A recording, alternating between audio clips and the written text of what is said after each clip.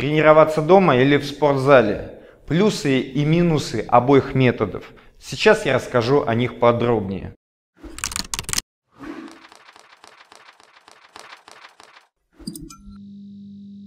Ко мне приходит много писем о том, а, где эффективнее тренироваться. Ну, можно ли тренироваться дома или все же лучше идти в спортзал. Давайте я вам расскажу как бы плюсы и минусы.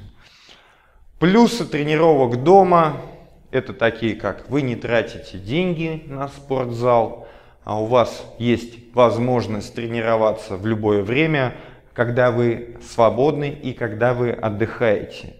То есть вроде бы нормально, но тренировки дома имеют ряд негативных а, моментов, то есть минусов. Первое, нету оборудования такое, какое в спортзале, то есть вы не сможете эффективно тренироваться. Нужны там а, свободные веса, штанги, гантели, нужны тренажеры. Если вдруг у вас упадет штанга на пол, то соседи начнут вам стучать.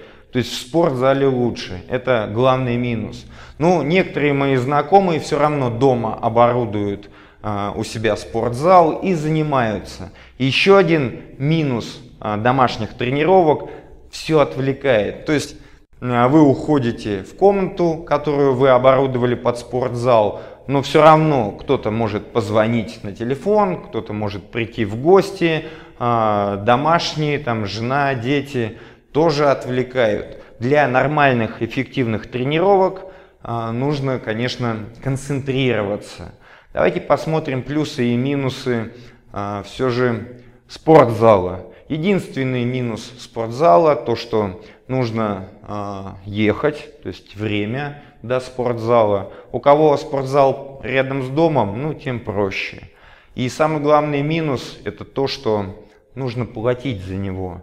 А если э, в провинции там недорого, то в Москве это достаточно дорогое удовольствие.